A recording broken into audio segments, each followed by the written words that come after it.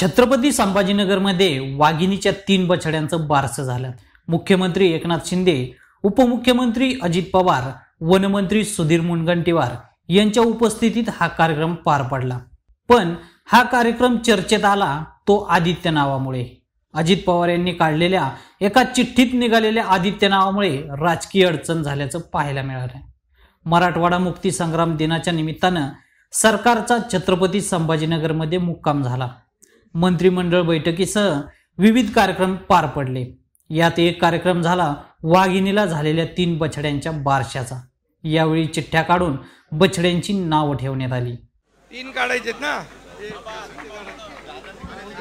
हा आले का? मी एक काढतो याच्यातलं हे घ्या. जाहीर करू. पिवळे वाघ बछडे. पिवळे वाघ बछडे नामकरण श्रावणी श्रावणी। श्रावणी हे नाव पहिलं घोषित करण्यात आलेलं आहे. जोरदार टाळ्या झाल्या पाहिजेत. श्रावण महिन्यामध्ये श्रावणी श्रावणातली श्रावणी असं साहेब म्हणतायत.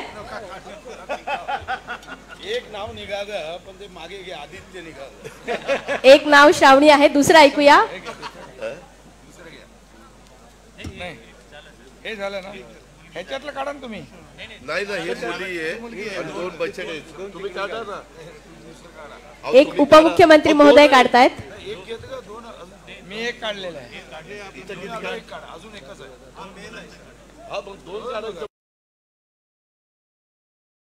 मराठवाडा मुक्ती एक संग्राम. आहे काना काना विक्रम श्रावणी. कान्हा विक्रम श्रावणी. हे तीन नावं माननीय मुख्यमंत्री एकनाथजी शिंदे साहेब आणि माननीय उपमुख्यमंत्री अजितदादा पवार यांनीही ठेवलेली आहेत.